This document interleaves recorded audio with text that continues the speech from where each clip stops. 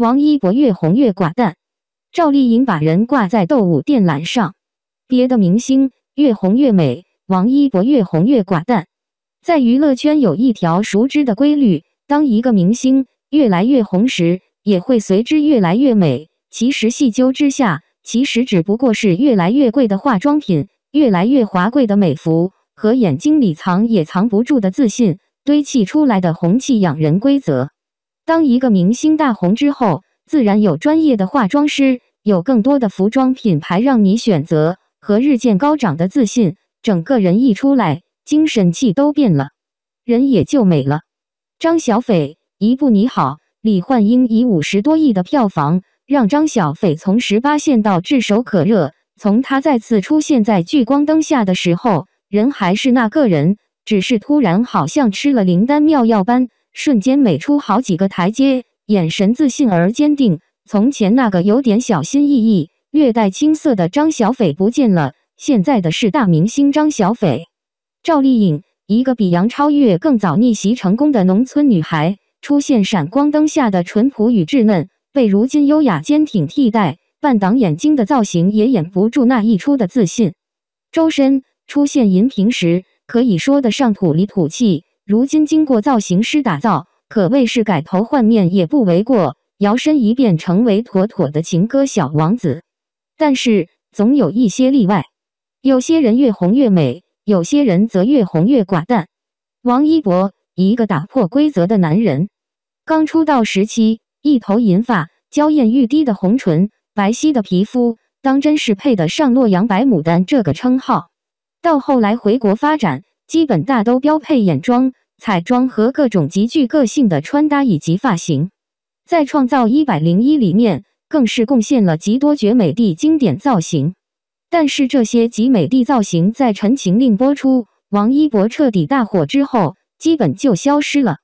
除了有时候会在上节目时会看到，现在的王一博基本就是阔腿裤加一件外套，更多的时候是一身黑。这背后的原因是因为大火之后。所到之处均有众多代拍的存在，这些代拍基本无孔不入，蹲酒店、拍戏现场更是有乔装工作人员的现象发生。无法摆脱的代拍，让他精致绝美地妆容到素面朝天的寡淡；更有穿十几天穿同一件外套，让代拍无从下手。这也是他在无声的抗议。其实，更多值得考虑的是代拍的背后。照片的流向无非是艺人的粉丝，如果没有粉丝来买这些照片，那么也就没有这些代拍的衍生。作为粉丝，更应该是在合理合适的公开场合来见面，而不是去偷拍窥探别人的隐私。这样的爱只会给你所爱的艺人带去更多的困扰。所以说，拒绝代拍也是粉丝爱支持自己喜欢艺人的一种方式。赵丽颖把人挂在斗舞电缆上，中国美女赵丽颖翻身空中，用枪斗舞在争凤行。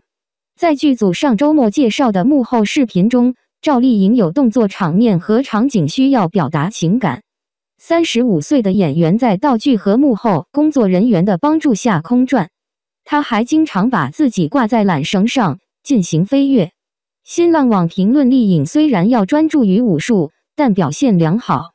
她的舞蹈表演是果断的、断裂和美丽的。